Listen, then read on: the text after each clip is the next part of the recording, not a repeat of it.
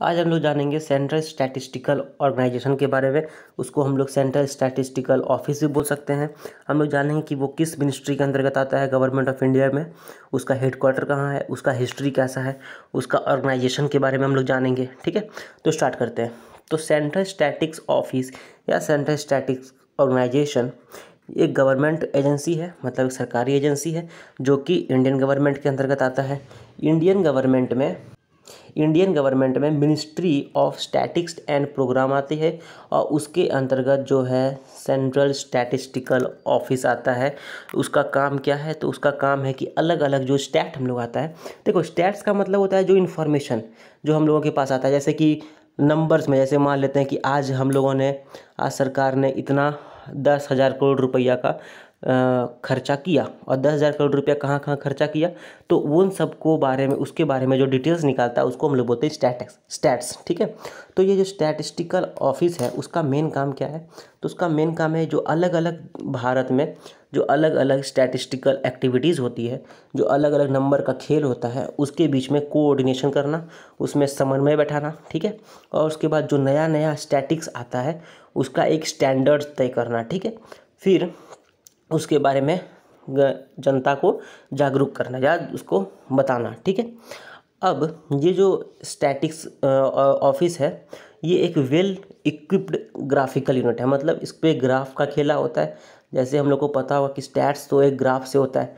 ठीक है? तो जैसे हम लोग दिखाते नहीं है अलग अलग न्यूज़पेपर में कि गवर्नमेंट ने 2015 से 2016 के बीच में इतना हज़ार करोड़ रुपया स्पेंड किया, सत्रह से अठारह के बीच में इतना, अठारह से उन्नीस के बीच में इतना, और उसको हम लोग तुलना करते हैं, ठीक है? तो ऐसे ग्राफ ग्राफ हम लोग बना के उसको दिखाते हैं। तो ऐसे में सीएसओ जो है सेंट्रल स्टैटिक्स ऑफ़िस जो है, वो एक तरह का बहुत अच्छे से ग्राफिकल यूनिट होता है, ठीक है? वो दिल्ली में लोकेटेड है, उसका उसका जो ऑफ़िस है वो दिल्ली में है, ठीक है? और वो अलग अलग डिपार्टमेंट जो गवर्नमेंट ऑफ़ इंडिया में आती है, उसके बीच में वो स्टैटिस्टिकल डाटा शो करता है, ठीक है? अब हिस्ट्री के बारे में बात करते हैं। जो सेंट्रल स्टैटिस्टिकल ऑफ़िस है, वो दो मई 1951 को कैबिनेट सेक्रेटरीट जो हाईएस्ट डिसीज़न मेकिंग बॉडी है इंडिया में, उसमें ये सेट किया गया था, ठीक है? ताकि गवर्नमेंट ऑफिशियल्स को समझ में आए कि स्टैट हम लोग का कहाँ कहाँ जा रहा है, उसके बारे में वो अच्छा से प्लानिंग कर सके, ठीक है? उसके बाद सी एस ओ जो है, उसका नाम था उस समय सी एस ओ मतलब सेंट्रल स्टैटिक्स ऑफ़िस जो है भी, उसका उस समय नाम था सेंट्रल स्टैटिस्टिकल इंस्टीट्यूट मतलब सी एस आई फिर उसका नाम बदल करके रख दिया गया सेंट्रल स्टैटिक्स ऑफ़िस ठीक है? अब सेंट्रल स्टैटिक्स ऑफ़िस में क्या होता है? कौन बेस्ट है? कौन टॉप पर रहता है? कौन डिसीज़न लेता है? उसके नीचे कौन रहता है? उसके बारे में अगर हम लोग बात करें तो सेंट्रल स्टैटिक्स ऑफ़िस जो है उसको हेड करता है एक डायरेक्टर जनरल ठीक है? एक डायरेक्टर जनरल उसको हेड करता है और डायरेक्टर जनरल को असिस्ट करने के लिए, उसको सहायता करने के लिए पाँच एडिशनल डायरेक्टर जनरल होता है, ठीक है? और फोर चार डिप्यूटी डायरेक्टर जनरल्स होता है और छः जॉइंट डायरेक्टर्स होता है। सेवन सात स्पेशल टास्क ऑफिसर्स होते हैं। थर्टी डिप्यूटी डायरेक्टर्स होता है और फोर्टी एट असिस्टेंट डायरेक्टर्स होता है और कुछ छोटा मोटा अलग अलग स्टाफ होता है, ठीक है? जैसे बताए थे सी एस ओ जो है वो दिल्ली में है तो इसमें हम समझ गए कि सबसे ऊपर होता है डायरेक्टर जनरल, फिर उसको मदद करने के लिए पाँच एडिशनल डायरेक्टर जनरल है, चार डिप्यूटी डायरेक्टर जनरल है छः जॉइंट डायरेक्टर्स है, सात स्पेशल टास्क ऑफिसर्स है, तीस डिप्यूटी डायरेक्टर्स है और अड़तालीस असिस्टेंट डायरेक्टर्स है और छोटे मोटे अलग अलग स्टाफ्स होते हैं, ठीक है? अब हम लोग देखते हैं इसका फ़ंक्शन क्या है। तो सेंट्रल स्टैटिक्स ऑफ़िस जो है, उसका मेन फ़ंक्शन है कि वो ministry of statistics and programme implementation मतलब M O S and P I को मदद करता है। उसमें वो बताता है कि स्टैट्स कैसे कैसे हैं, ठीक है?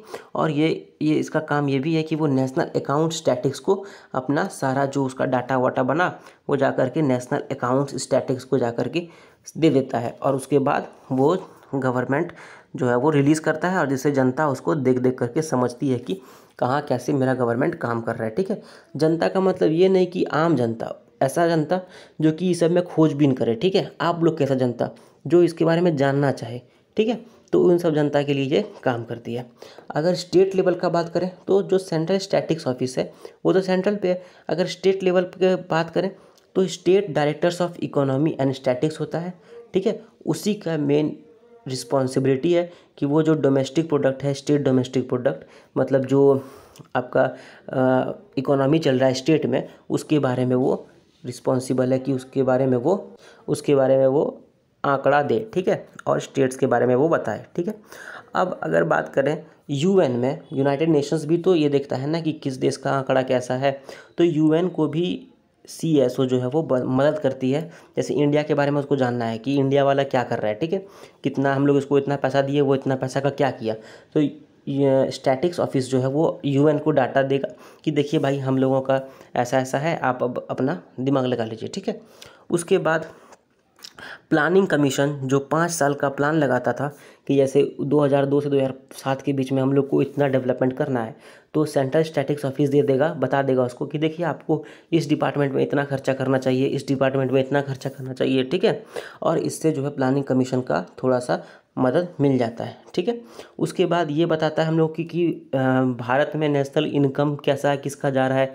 हम लोगों का जनता जो है वो कैसे अपना पैसा कमाई को बढ़ा पा रहा है या नहीं बढ़ा पा रहा है ठीक है?